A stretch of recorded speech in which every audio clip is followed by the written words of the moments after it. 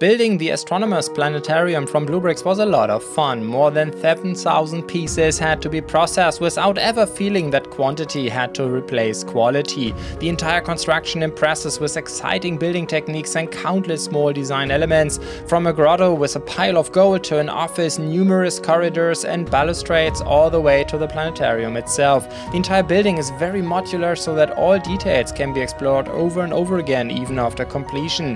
However, the building was somewhat clouded at times. The building steps are very chaotic in their size. The instruction manual constantly requires a rotation of the set, often unnecessary and quite cumbersome with such a colossus. All these little things, however, are more than compensated for by the great design, together with a fantastically low price.